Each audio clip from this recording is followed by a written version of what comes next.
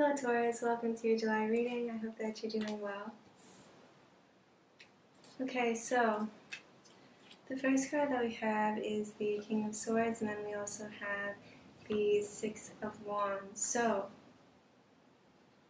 ooh, what I'm getting at this is someone makes a decision about you, and so they start like this could be someone I'm, you might know them. It could be like you've known them for a while, and all of a sudden they reach out, or it's like someone that's your first meeting. It's just kind of this new, like you haven't been continually talking to this person, involved with this person that like consistently for a long time in the past. It's like this person makes a decision about you, they decide something, and then they start doing things like maybe they ask you to hang out, maybe they're asking this, but it's because of this decision that they made about you.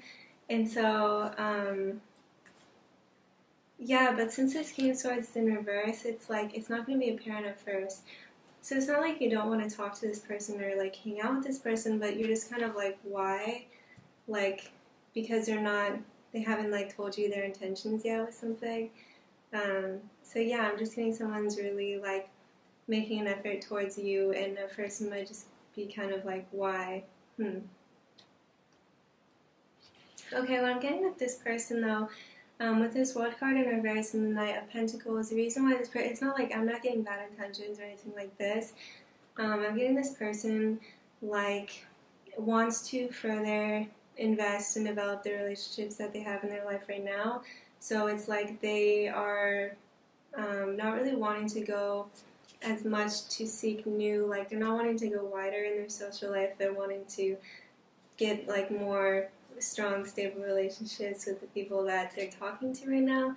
So this is why it might kind of seem all of a sudden that this person is like this. Um, yeah, also reconnect. Like someone might be trying to reconnect and like talk because they're like, I don't need to go try to meet all these new people. I know a lot of good people, like Taurus. I know Taurus is fun to talk to, hang out with. So why don't I just talk to them and like develop a deeper relationship with them? Hmm. okay. Yeah, so also with this Justice and Two of Wands, at first it might just kind of, I'm getting the sense of confusion as to like, okay, like where is this going, something like this. Um, but it's nothing bad, it's just kind of like, oh, I, like you weren't expecting this person to really be like this. Hmm. So yeah, so this Imagine card, I'm getting this person just has really good thoughts about you, they imagine having good relationship with you. Um, and also with this yin card, I'm getting it's like they really admire something about the way you take care of yourself, the way you dress, the way you smell. There's something about you like some things about how you take care of yourself. Maybe it's like your perfume or something like this. That this person like it really draws this person in. Um, yeah, kind of interesting.